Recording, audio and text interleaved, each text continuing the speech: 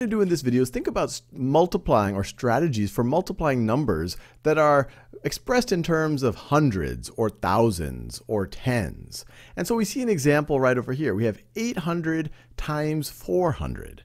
Now, like always, I encourage you to pause this video and see if you can work this out on your own. Now let's work this through together. And I'm going to work it out in a way that at least my head likes to tackle it. And once you get enough practice, you might even be able to do these types of multiplication problems without even needing to use paper. So the key realization here is to say, well, look, this is eight hundreds. So that's the same thing as 8 times 100. And this over here is 4 hundreds. So this is 4 times 100. And so it's 8 times 100 times 4 times 100. And if you're multiplying a bunch of numbers like this, you can switch the order in which you're doing the multiplication. So you can view this as 8 times 4, 8 times 4, times 100 times 100, times 100 times 100, times 100. Now, why is this easier? Well, what is 8 times 4 going to be? Well, 8 times 4, if we know our times tables, is 32. And so it's going to be 32 times, what's 100 times 100 going to be? Now there's multiple ways that you could think about this, and I want you to really think it through, but we'll soon see that there's a fairly fast way of making sure we got it right. But one way to think about it is, well, let me do it over here. 10 times 100 is equal to 1,000. And so 100 times 100 is going to be 10 times that, or it's going to be equal to 10,000.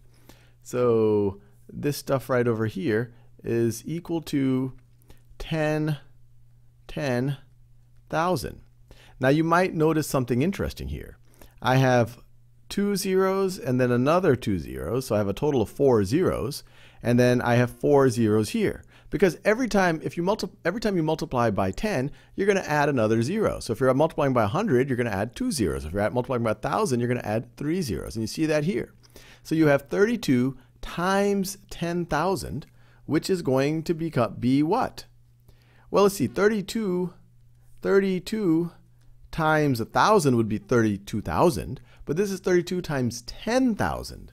So it's going to be 320,000.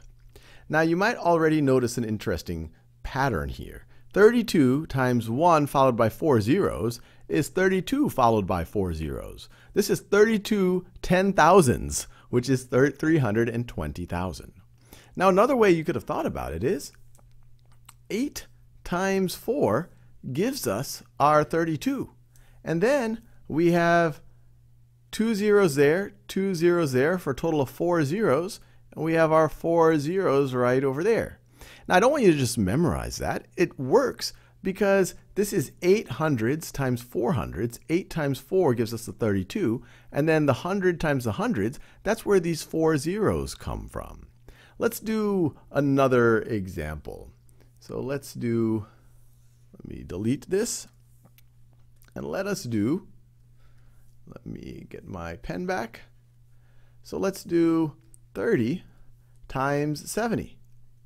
30, or let's do 30 times 700. Pause the video and see if you can figure this out. So we can do it like we did before. 30 is 3 times 10. 700, so times 700, which is 7 times 100. And so if you say 3 times 7 is going to be 21, times times 10 times 100 is going to be 1,000. So what's 21 times 1,000? Well, that's going to be 21, 21,000. Now, just like we saw before, you'll once you get a hang of it, and I always want you to understand where it's coming from, 3 times 7 is the 21, and then you're going to multiply that times 10 and then 100. So you have one, two, three zeros, one, two, three zeros. Let's do one more of these.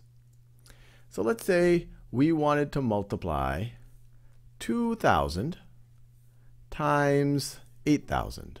Pause the video and see if you can figure out what this is. Maybe in your head. Try to do this one in your head. Or on paper. Don't feel bad if you need to use paper. That's always prudent.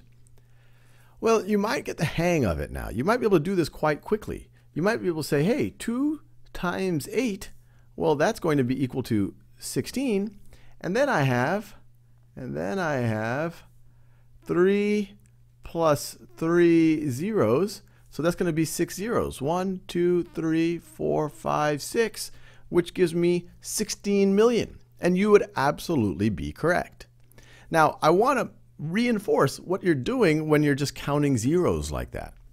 What you're doing is you're saying, hey, this is the same thing as 2 times 1,000 times 8 times 1,000, 8 times 1,000, and then you're just changing the order of multiplication. You're saying, hey, let me multiply the 2 and the 8. You multiply the 2 times the 8, and you get 16.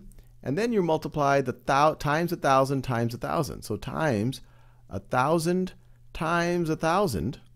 And a 1,000 to thousands, that's 1 million. This is 1 million right over here.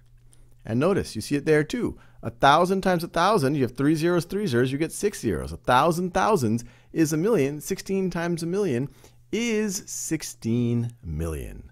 So hopefully that helps and makes you a little bit more comfortable multiplying these numbers that are multiples of 10, 100, thousands, even millions.